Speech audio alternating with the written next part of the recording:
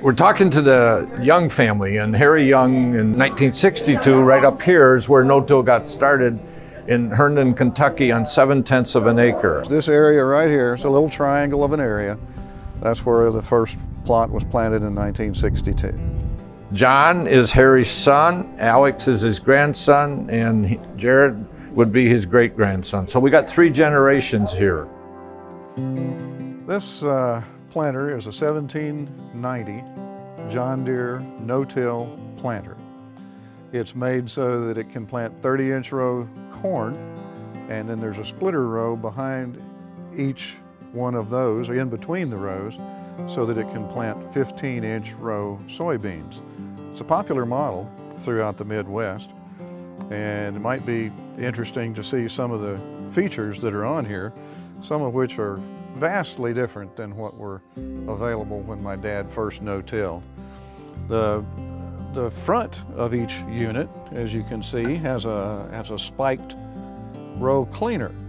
Uh, we have always used Martin row cleaners from Elkton, Kentucky, and that's a good company. They turn out a good product. And you notice that at the edge of each row cleaner that there is an aluminum band, which is called a depth band.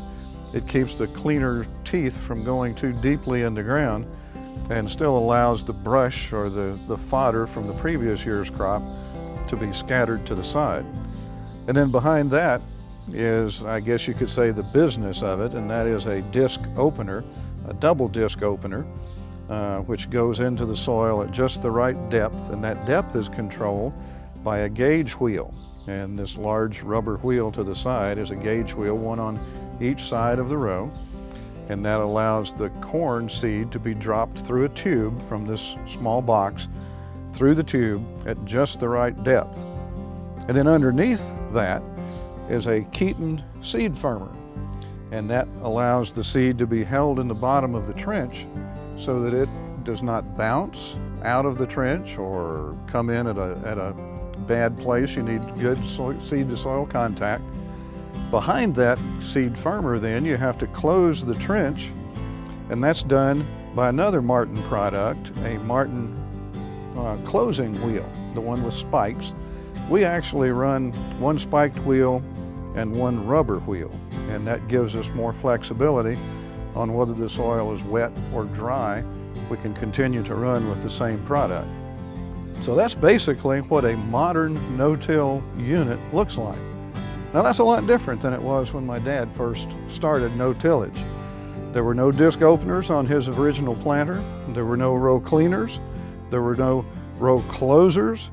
And the depth was controlled very uh, roughly, but uh, his was an experimental, a prototype. Many of these improvements, believe it or not, all originated in western Kentucky. No tillage, obviously, originated in western Kentucky. The first commercial farmer to use that was my dad. But just think of some of the other things that were here as well. I mentioned the Martin row cleaner, which is from Elkton, Kentucky. The, uh, the seed firmer uh, is called the Keeton seed firmer because Mr. Eugene Keeton, also from Todd County in western Kentucky, was the one who invented that. Not only did he invent that, but Eugene Keeton um, also was the inventor of the finger pickup model for one of the earlier no-till planters that John Deere made. Remarkable fellow, remarkable fellow. But as far as western Kentucky goes, all three of those things came from this area in a Christian County, Todd County area. We're real proud of that.